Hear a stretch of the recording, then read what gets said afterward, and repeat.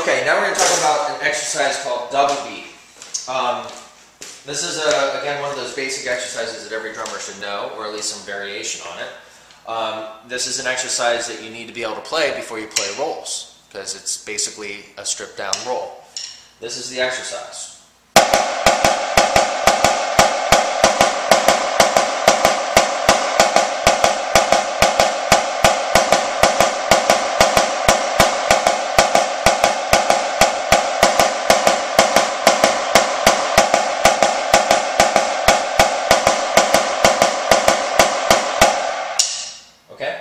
Um, here's what's going on. You're playing a double, but you're playing four of those. And then at the end, you're going to play a slow set of doubles. So all together, you have this. And then when you go to the left hand, you're doing the same thing. This exercise is kind of like eight on a hand in the sense that you're going to let the stick rebound. Just playing a different rhythm. If you look at my wrist, you should be stroking this out, especially at uh, slower tempos.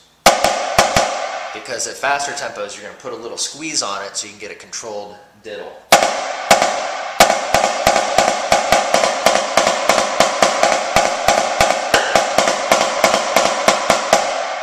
Okay, so a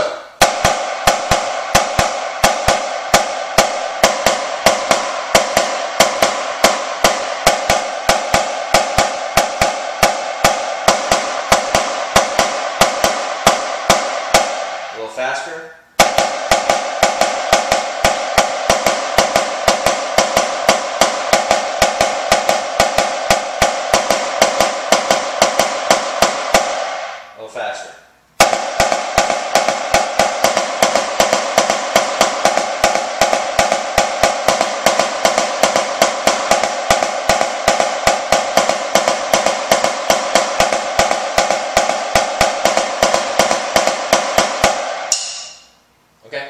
Um,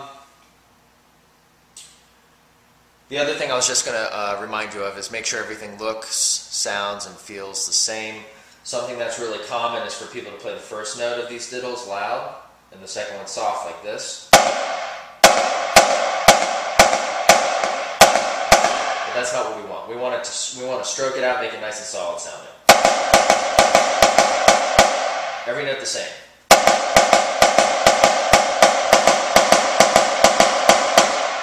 Regardless of the height, okay? So that's double beat.